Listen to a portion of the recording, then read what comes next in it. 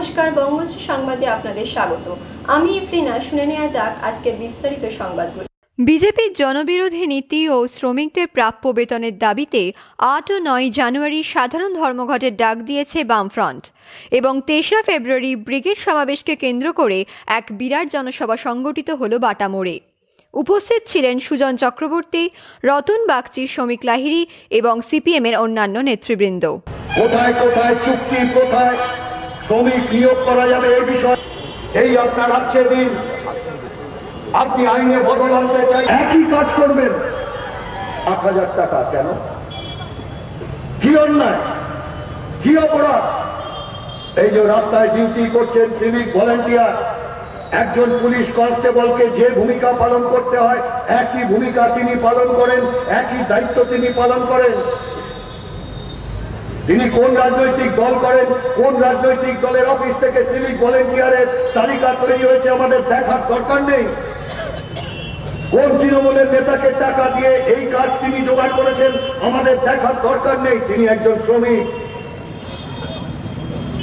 High constable, তিনি মাইনে পাবেন তিরিশ হাজার টাকা আর সিভিক ভলেন্টিয়ার কেন আট হাজার টাকা? অন্যায় দাবি।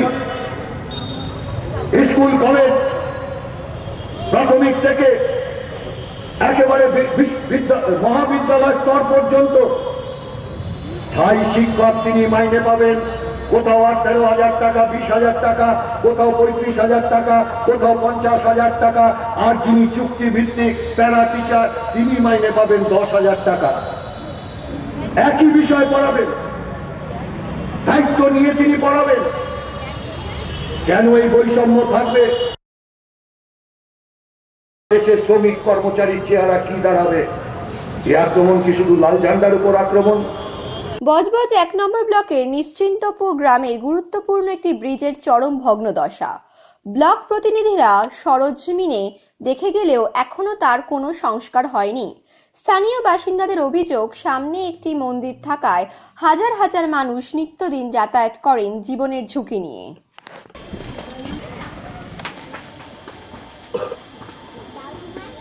আমরা পঞ্চায়েতের লোক পৌরসভার জল খাই। পোলের অবস্থা খুবই খারাপ। দীর্ঘদিন ধরে এই পোলটাকে মেরামত করার জন্য পড়ে আছে। বাচ্চা আছে স্কুল হচ্ছে স্কুল হয়েছে। কিন্তু পোলটা কিছু এখন হচ্ছে না। কতদিন ধরে এই অবস্থা? হ্যাঁ। বলছি কতদিন ধরে এই অবস্থা? হ্যাঁ অন্তত মাস দিয়ে হলো।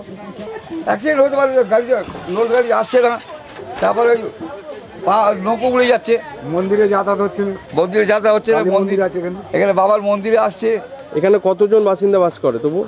আটশো। হ্যাঁ নশো নশো। এটা পঞ্চায়েত না পৌরসভা? পঞ্চায়েত।